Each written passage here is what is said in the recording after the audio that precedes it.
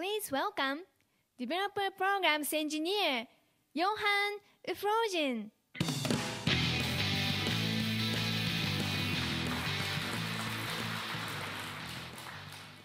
So, Hajime nice to meet you. I'm Johan Euphrosine, and I will speak about building game using technology, using Google technology. So, about me. So, my name is Johan Euphrosine. Uh, people usually call me Propi. I'm from Google Zurich in Switzerland. I'm a developer program engineer, and I support App Engine developer community. And you can reach me through my Google Plus profile. So um, if you want to follow this presentation and have your laptop, you can open the link on the bottom. So do you remember, how many of you remember Angry Birds from last uh, I.O.? How many of you have played Angry Birds before? And how many of you are game developer here? Okay. So about, uh, about Angry Birds, so it's really leverage Google open technology and platform. It's deployed on three major platforms that we support. It's deployed on the Chrome Web Store, on Android, even in Google+, and it's built using Google technology. So it's built using, using Google Web Toolkit for the Chrome, uh, for, for the, the um, Chrome Store version. It's hosted on App Engine and make a lot of use of HTML5.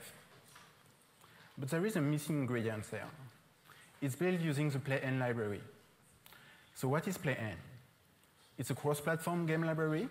You write once your game in Java, and you can deliver it on multiple platforms. So you can target desktop Java for development, HTML5 for web app, Android, and Flash.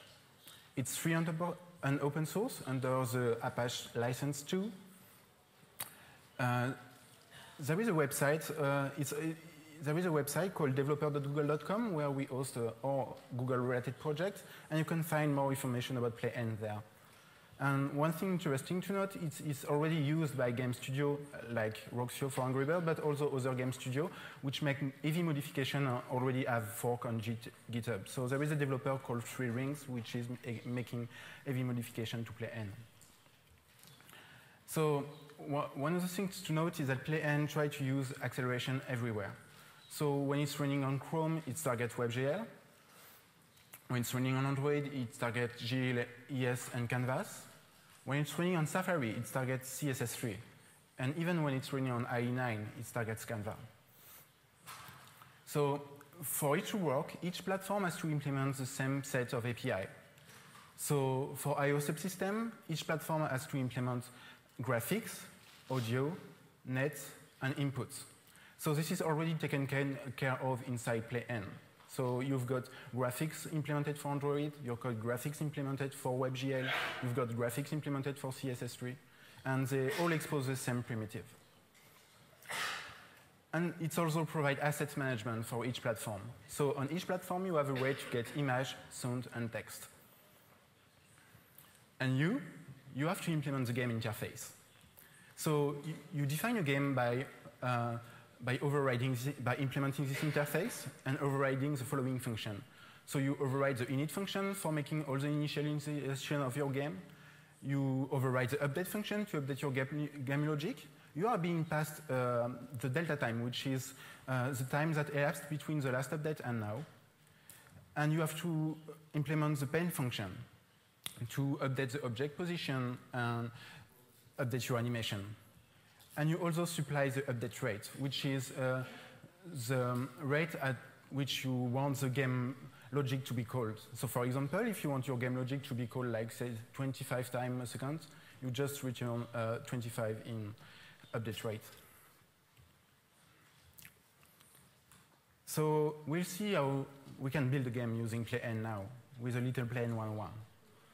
So I believe, I don't know if you feel the same way, that every game should start with a blue sky. So for doing that, we implement the interface game. We simply define the size of the screen. We create an image, which will be where we draw the, where we draw the sky. We get a canvas on this image. We set the official blue sky color. and we fill, uh, and we fill all the image with this color, using the function fill rect. And then we have to create a layer. In PlayN, in order to display things on the screen, what you do is you create a layer. So basically everything is N that, you, that is ever displayed to the screen is a layer. And in order to put it on the screen, you have to add it to the root layer. So we just call, you, we just get the root layer for the graphics object, and we add the background that we just created to it. And that displays this, which is a blue sky. Well, in order to make things a little bit pretty, prettier, we want to add some cloud uh, inside the, on the blue sky. So we will just like load an image using the asset manager, so here you see that using get image, we can like load any file that is stored as an asset on each platform. We create an image layer because we want to put it on screen. And we just, like we've done before, we add it to the root layer. We define some position. So ideally, we want this cloud to be on the top, top left of the screen. And we set the translation, the translation of the, the cloud to update its position. And so now it displays a cloud on the blue sky. But this, this is not very fun, so we will animate the cloud a bit. So for that, we will override the paint function. And inside the paint function will be passed the delta, which is uh, the, the, time that elapsed between the last call to paint. So we'll just like keep incrementing the, the x position of the cloud. And eventually, if it's go out of the screen, we want it to go back on the left. And we just update the translation uh, of the cloud to apply the, the transformation. And so it does this. So now we have a cloud which is moving, and hopefully it should drop. Oh. Ah, he's there again. so this is not quite a game yet, because like it's only, it looks more like a screensaver. So we will add some more object into the game. So we will add some ball.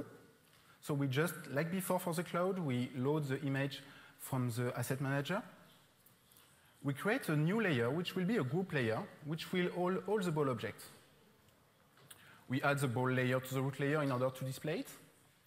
And we get the pointers system, which will like, uh, which we can listen for click events. We override on pointer end, and this function will be called each time we click on the screen.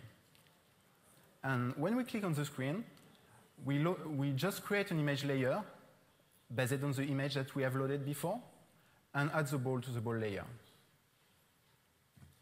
So now, when we click on the screen, we see this little guy, which are displayed and rotating like crazy. So we want to make more this uh, a little bit more fun. So we're going to use a library uh, called Box2D, which is a 2D physics engine. And luckily, it has been ported to Java.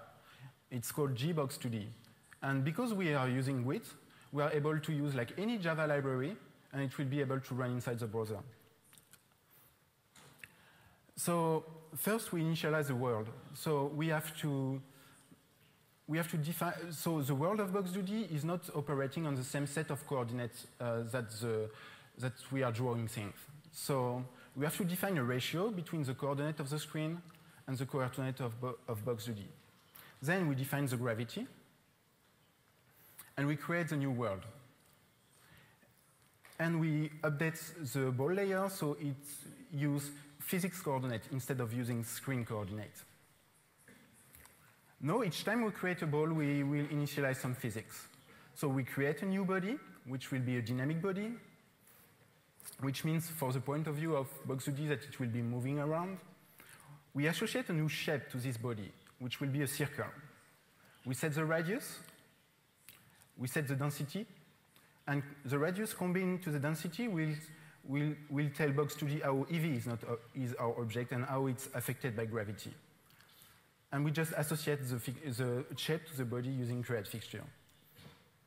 And now, our little guy is falling around.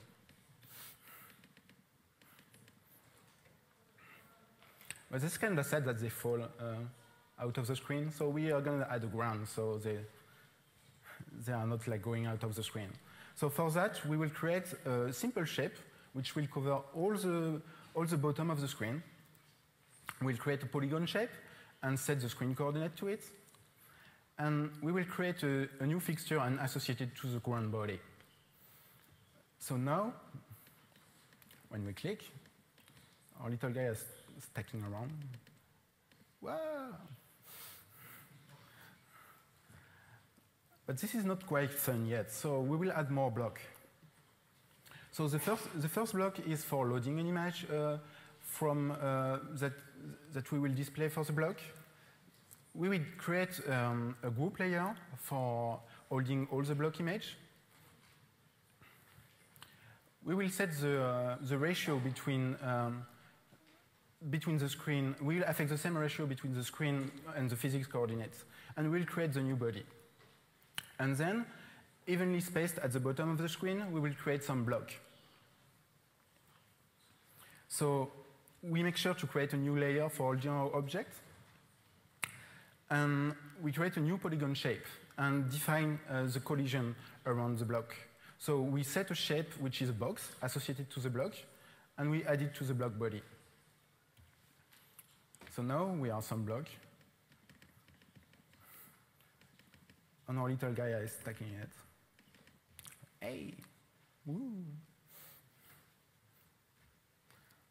So now we will add some nails for like uh, for to make this a bit more interesting.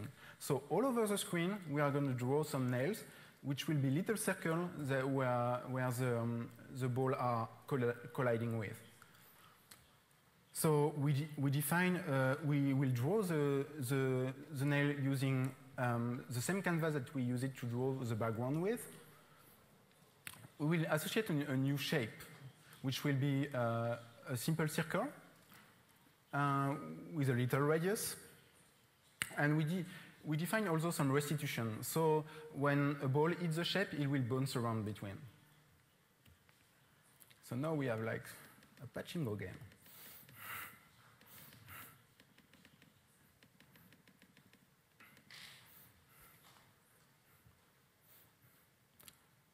But this is not quite a game yet because there is no scores. So what we are doing, so remember we have these little slots on the bottom. So on, on each slot, we will, we will associate a number of points. So on the left and right uh, end, it will minus our score. Then it will give us plus 10, and if we manage to hit the middle, it will give us plus 50. So in order to do that, because this is basically our game logic, we will override the update function. So inside the update function, we scan all the ball objects, and for all the ball objects, we get their, we get their current position, their current Y position. And if it's below uh, the screen, so if it's uh, on the same uh, level as the, as the block, we will increment the score based on the horizontal position of the ball. So we just look up in the point table uh, given the slots that we are in. We make sure, uh, using max, that our score don't go below zero. And we remove the ball on this score because we don't want ball to stack around like this. So we remove the ball to the layer, we remove the ball from the uh, physics world, and we also remove the entity. We add the entity to a remove ball list that will be, will be cleaning layer. So now we have a score on the top left, and hopefully when the ball reaches, oh, this is no The score keeps being zero. But like, if I go back here, it's increment. So there is something weird. So let's see how we draw, we draw this score. So we are using, uh, we are creating a new image. Like we've seen before, we are creating an image layer, just like we are doing for the screen. And in order to paint, we are using the canvas. So we, on the image, we get the canvas, we clear it because we don't want the, uh, the text to, to stack on each other, and we set the fill color. But nothing is wrong with that code. I wonder why it's not working. Maybe there is a bug in PlayN. So let's see how it works with Java. Do we have the same bug or not?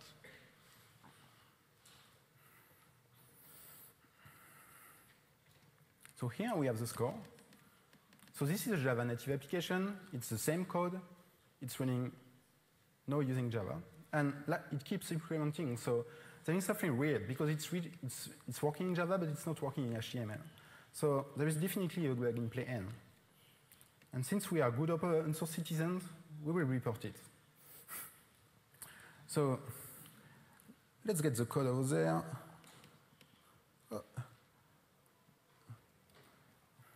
So what is the problem?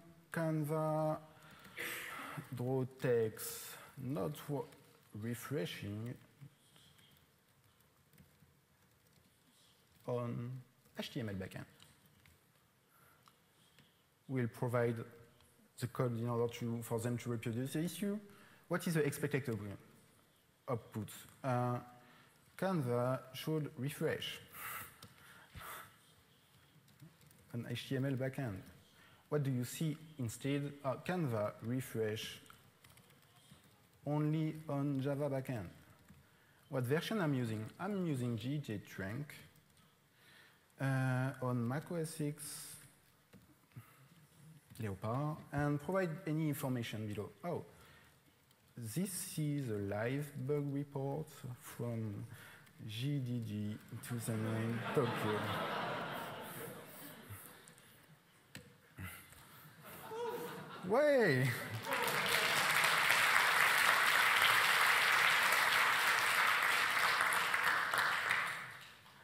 So yeah, there was a bug in, in Canva text, and we feel better because we contributed to the project. So, but we still want to display our score.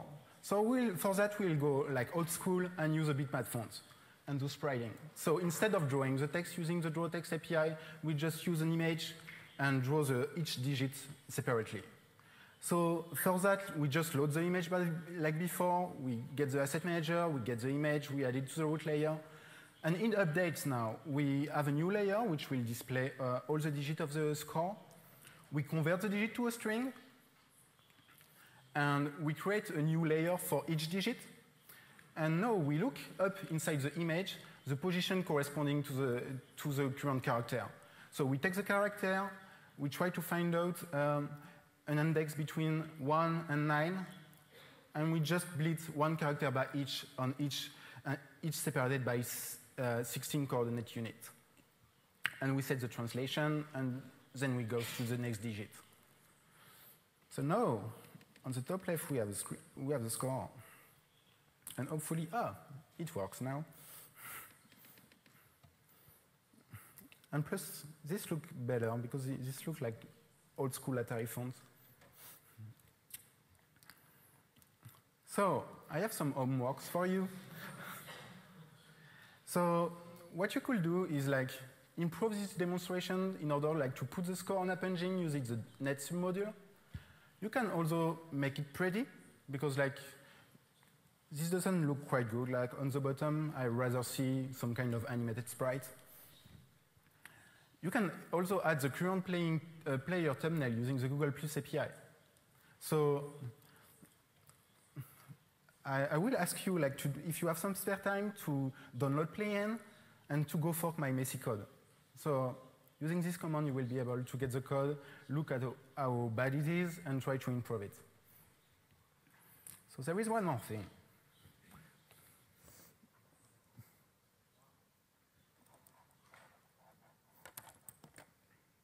So switch.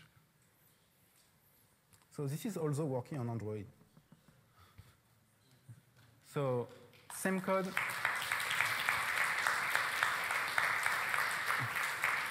So using PlayN, we were, we were able to deploy the same code, the same Java code, and to compile it to HTML5, Android, and native Java for development. So if you were following this presentation, you can get the APK and play yourself with the game. So this is me, Johan Euphrosine. Thank you for attending. Um, I please have a look at developer.google.com slash playn. Um, let's meet in the office hour outside if you have some question. So thank you a lot.